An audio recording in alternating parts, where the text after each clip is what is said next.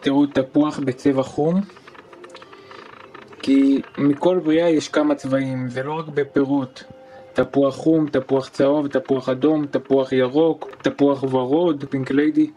זה לא רק בתפוחים ובפירות יש צבעים, מאותו פרי כמה צבעים, זה אגב נקרא תפוח נשי, אלא גם בחיות, יש דוב שחור, דוב לבן, דוב חום.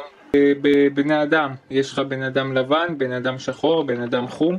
גם באבנים יש אבנים בכל מיני צבעים, גם באדמה יש אדמה בכל מיני צבעים.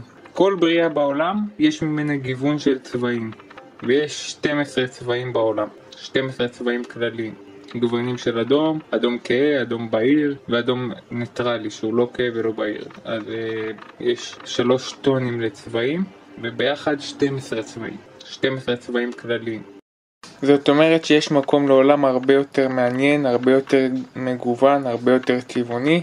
כבר ראינו בני אדם שנולדו בצבע כחול, בצבע סגול, יש אנשים כאלו, היו אנשים כאלו לפחות.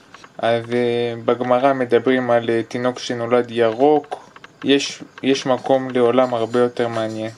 ואני יכול לומר לכם שצבע האדם מושפע ממה שהוא אוכל בתדירות גבוהה.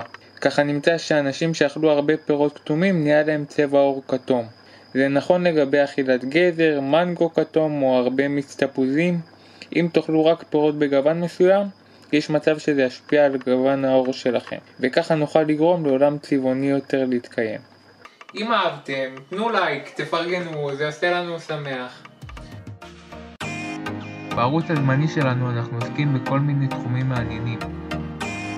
נציג כאן תופעות טבע מאלפות, ונדבר כאן על ראיית עולם שמעניקה משמעות לחיים בתקווה לעתיד טוב יותר.